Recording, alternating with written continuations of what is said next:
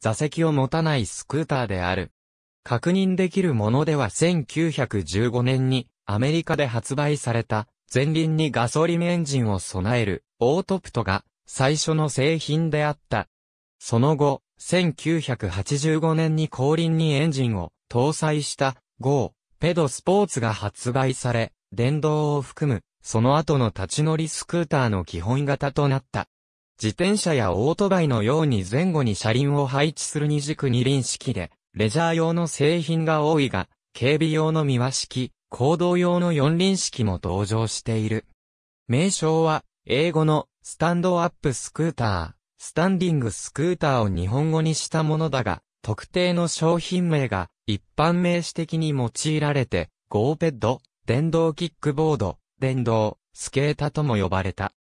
2001年に発表された、セグウェイが、立ち乗りの電動スクーターとして報道されることが多かったことから、日本では、現在、セグウェイに類似する形態のものとそれ以前から、存在していた形態のものとを含めた総称として、立ち乗りスクーターと呼ぶようになっている。電動機や内燃機関付きの立ち乗りスクーターは、法令上、道路交通法及び道路運送車両法の双方で、原動機付き自転車、または自動車扱いとなる。2019年時点、パルウェイやエアホイールといったブランド名で、道路運送車両の保安基準に適合した行動走行可能な製品の販売が始まっている。一方で、多くの電動立ち乗りスクーターが、行動を走行できない形態で販売されている。2000年代初頭に、キックスケーターブームに伴って、電気モーターを搭載した製品も数多く輸入され、店によってはこれらを免許不要、行動可能と謳って販売していたため、合法と信じてそのまま歩道を含む行動を走る利用者が現れた。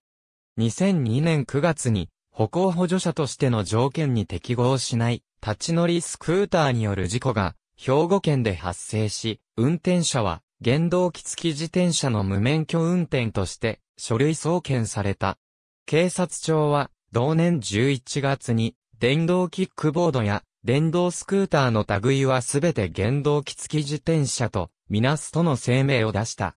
電動スケーターは原付きバイクとみなす兵庫県警が初見解でスポンス自動車ニュース当時は遊具なので行動化といったデマが流れていた。電動モーター付きスケーターはやっぱり原付き、運転者を無免許で、書類送検レスポンス自動車ニュース平成14年11月、警察庁交通局、いわゆる電動キックボード及び電動スクーターについて、ありがとうございます。